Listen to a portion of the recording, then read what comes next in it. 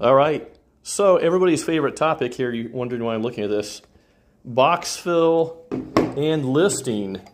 So we do a lot of EV 14-50 plugs. If you do the load, the uh, rather the box fill calculations, you know you need a big box. I think with a NEMA 14-50 and 6s, you need like a, I don't know, a 38 cubic inches, something. So we were using this box for a second right? And one of my inspectors said, hey, look at those tabs in the back. See these tabs right here? He says, hey, is that rated for a 6.3? And I said, well, I can force it in, so probably yes. He goes, well, what about the listing in the back? And so if you look real close at these numbers punched in the back, let's see here, let's see if we can get that.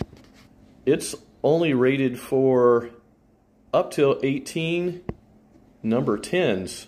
There's no uh, mention of there about anything over number 10.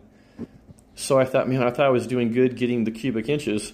And so he mentioned a box like this that's actually got a clamp that's made for 8363.